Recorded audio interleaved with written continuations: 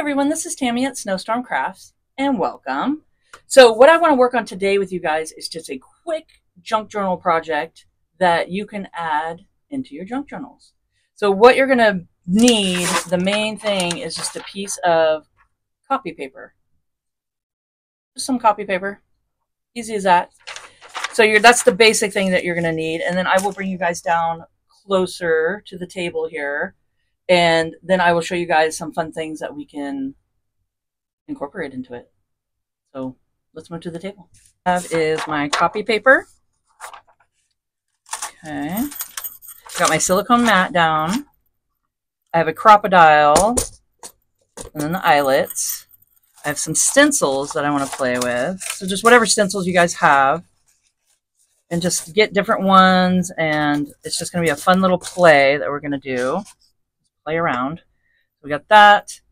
Um, I got my 3D paint, which just little puff paints or, you know, whatever you guys have. Just, you don't even have to use these.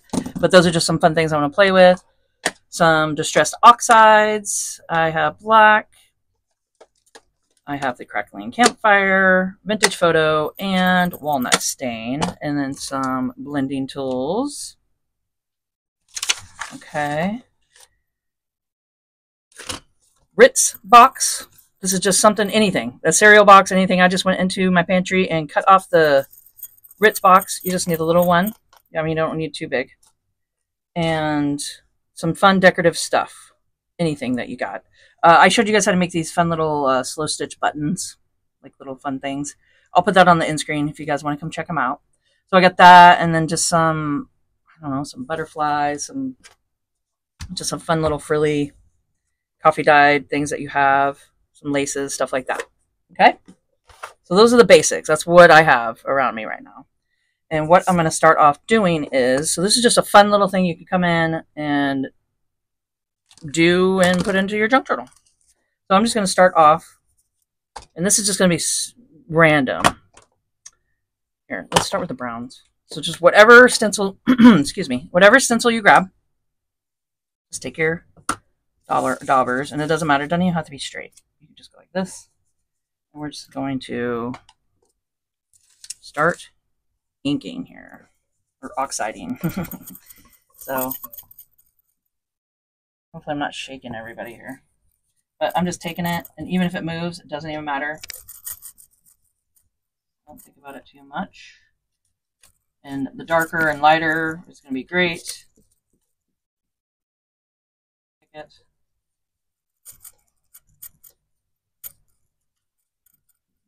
Thing. Okay. I'm gonna keep doing that and then just grab another one. It doesn't matter. You could get any kind of decorative, uh, any background ones, uh, just however you want to do this. We're just gonna make this into a fun Mod Podge of uh, stencils here. And then you can just grab another one here and just get a different color. And we'll do the walnut stain. Just do a little darker brown.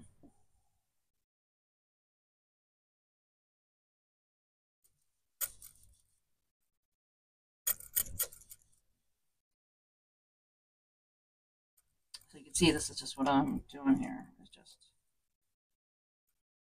layering it up pretty much with stencils here. I'm going to do this in a time lapse, and that's all I'm doing is just grabbing one, grabbing another one. doing it a different spot. Just do sections of it if you want. You want to do this. Okay. And then we can switch over.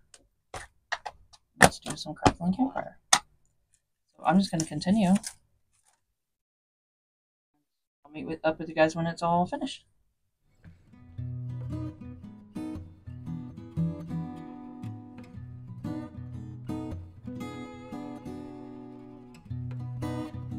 Okay, so I think that turned out great. So just do like a fun little just collage with your stencils. Get them all different, different colors, whatever colors you guys have, inks, oxides, anything like that. Okay, Now, what I want to do. Me grab a tag.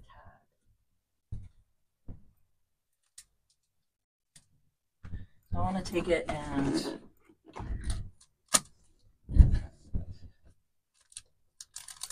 I'm just grabbing this just to have something to trace around.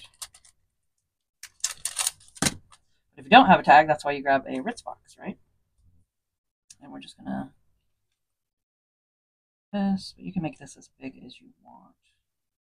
What I'm gonna do. Pencil and sure we have tags somewhere around our craft rooms.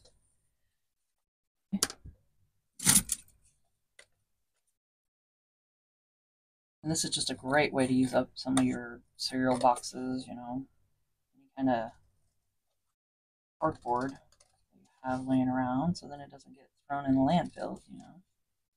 Or if you recycle it, that is great. But this is a fun way to recycle it. All right. So I'm just showing you guys the basics here of what you could do. And um, it's just really easy super fun. Well, I think, you know what? I think I'm going to use my glue stick for this.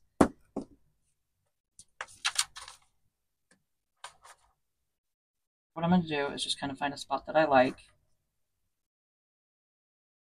And there's so many, right? You know, maybe don't look like this. Because you could do this with a bunch of them.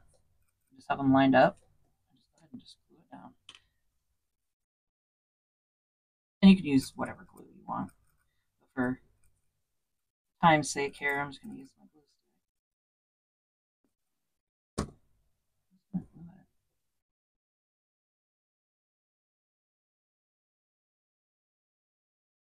stick. Elmer's glue stick here. I have my sewing mat underneath. I'm trying not to get it smudged, but that's why I put the silicone mat down.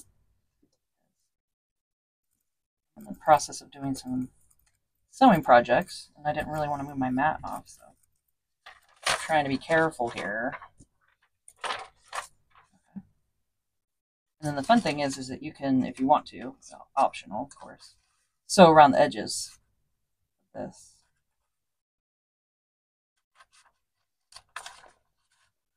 One side. This is just so fun to make.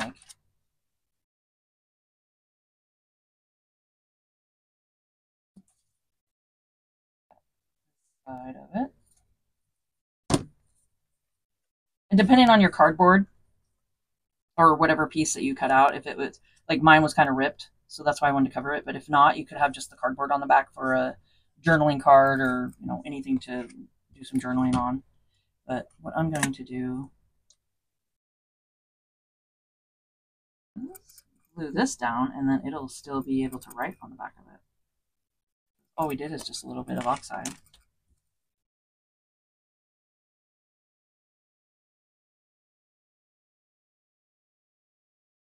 This dries clear, purple. It'll dry.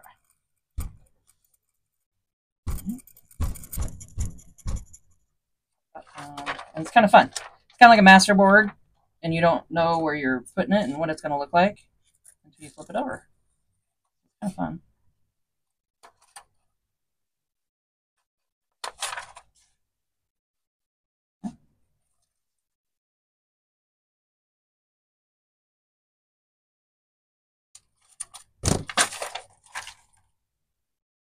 There we go. Now, I like both sides. Then you decide which side you want to be the front and which side you want to be the back.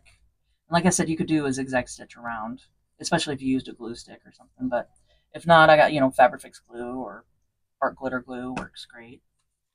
Just be careful because it'll br bring lines up through it. So you might want to finger press it before you put down the paper. Okay, so we got this, and I think we're going to do this side for the front. Oh, before we do this, I wanted a fun just little dragonfly right here. And I'm going to use my black soot for that. Make that one pop a little bit.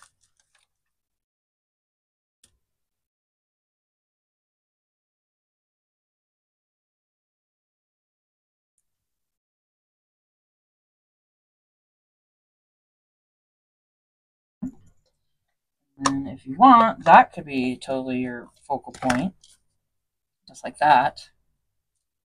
Okay. But if not, you can go ahead and take, you know, something fun and have this added to it or make your own. Goodies here. Make like something totally different. Go into the front.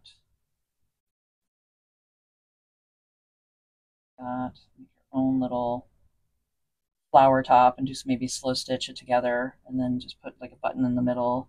Uh, you know, have some of this behind it and then a little flower on top. Do the same here.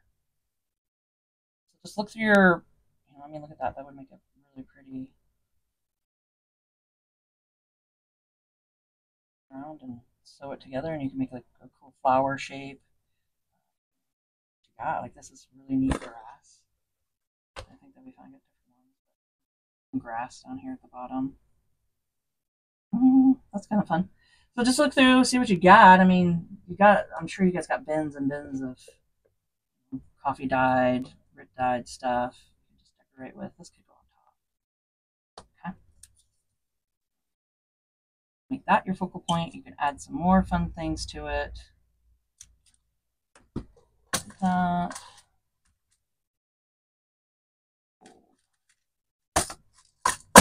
Gold here.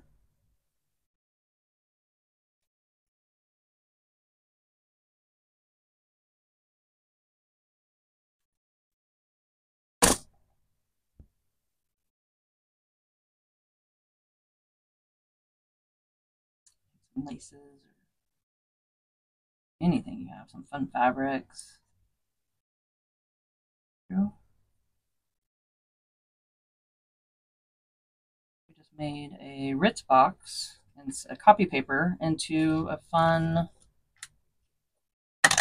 little tag here. Just the edges if you want. I should get my dauber for that. I think this does a better job.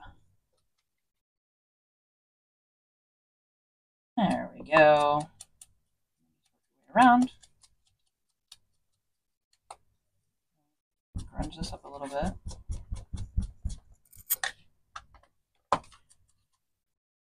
There we go. And if you want, you know, you can glue something here. sewing around, do some interest stuff. And yeah, so I just wanted to pop on real quick today and show you guys. I mean, like even some of this, this could be the stem, know, like say you don't have that focal point, you put this here and have this butterflies as a stem coming down. So different things like that. And then we got our fun puff paints. Take your puff paints. Right down wherever you want. And these are very addicting once you start puff painting everything. Stop.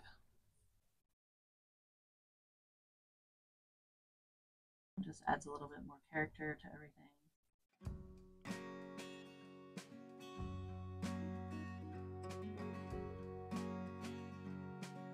Oh.